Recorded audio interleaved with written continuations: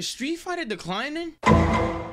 Now, before everybody start complaining like, oh my god, what is this kid talking about? I want y'all to really listen to what I'm saying. Street Fighter release ever since June 2nd, 2023 have been one of the craziest moments ever. Not only introducing a new type of playstyle or just a form of gameplay inside the Street Fighter franchise, they have also announced a $2 million pot bonus for the Capcom Pro Tour. And what y'all hearing is y'all would be like, how is it declining? And somehow, some way, we have the same question. But into the first detail, first point that I would like to talk about is the updates. Now, mind you, we have experienced some type of minor update, some type of update as a whole, especially when like new characters, somebody come out, like Aki and or Rashid came out, they had like updates. But I'm talking about the yearly big major updates. We're only getting one update, one major update throughout the entire series of this game. So every year we only get one update. That's it. Mind you, there's a lot of things that actually need to get touched inside this game. First of all, let's talk about JP parry being active for like almost 100 frames. Blanka having eight-way mix-ups like it's Marvel. Aki can literally duck underneath drive impact. That don't even make sense. There's a lot of things in this game that actually need to get touched. Like it actually needs to get touched. And there should be no reason why these things is even in the game still. It should be no possible way. And we also talk about the Fireball Dhalsim teleport mix-up or the fact that Honda headbutts all versions of its headbutts is negative four. Like I've been saying, there's no reason why we should wait a year for a lot of these things to get touched. These things actually need to get touched like right now. Another point to bring up is the mental stack inside this game. Now, something I would like to point out is a tweet from Ryan Hunt, which is one of the best, you know, Tekken players. When I actually started getting into like fighting games, you know, I, I realized, you know, not really much people. I'm not gonna go into detail, but you know, there's not really much people like me. This tweet that I will be implementing on the screen, we're gonna read this all down the list. Reasons why this not only this one year patch is just like not it. The mental stack in this game is a little bit overboard, and I'm gonna be explaining why, but we're gonna go through some of these things. First, we have projectiles. People could really EX fireball and then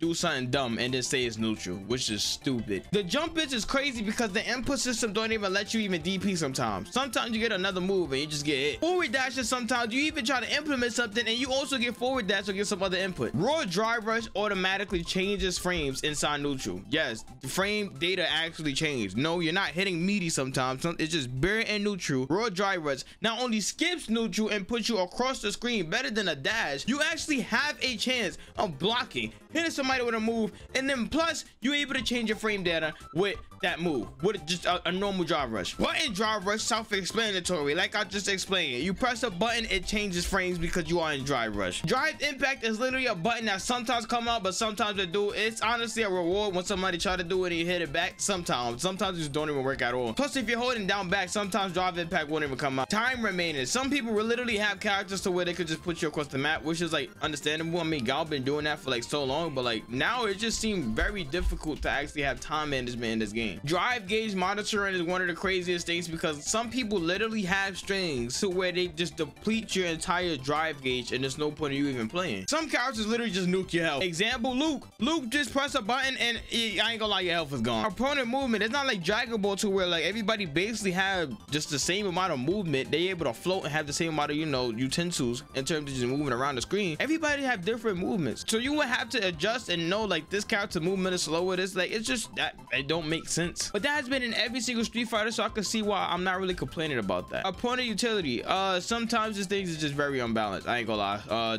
Jamie don't go into the next round with his drinks, but Manon do. It's just like things like that. It just don't make sense. And also Blanka-chan, whatever, like it automatically restores and then Jerry, like it's too much. And let's not even talk about the fact that if you're close to burnout, you will literally have to super in order to get out of some situations. And one of the main points of problems that I have is literally perfect parry. Somebody could literally tap triangle and square, medium punch and medium kick, and I promise you, you will lose the game off of it. And then let's go to one of the last points that I had because I don't want to make this video too long because I want to hear your honest comments down below. Can we talk about the fact that I even had a conversation to multiple players, people in the community and out the community, that in order to actually get better at this game, you will really have to sacrifice a lot, which is why I actually support the people that actually is a high level at this game, very high level. But you will literally have to sacrifice so much time, so much studying, so much into this game, no matter what's going on. Some of y'all even know I'm a card player at heart. I'm really a card player, I upload card. I literally produced card to actually get into Street Fighter, and granted, it did did pay off. I was getting good tournament placements to just start out. But that's my point. This game, Street Fighter 6, is like it don't really matter how much time you put in. You have to sacrifice more things than the average person would in order to actually compete inside this game. And honestly, unless there's a new character, the Steam stats, I even throw it up on the screen, is really not even getting better right now. It is declining. Hopefully they have a change of heart and actually come out with this major update as soon as possible. And hopefully they also come out with Street Fighter League by the time this recording is even out. Because when I say this, I really love Street Fighter and I hope it actually get better. I catch you on the next one. Comment down below what's your opinions on this. I'm out. Enjoy your.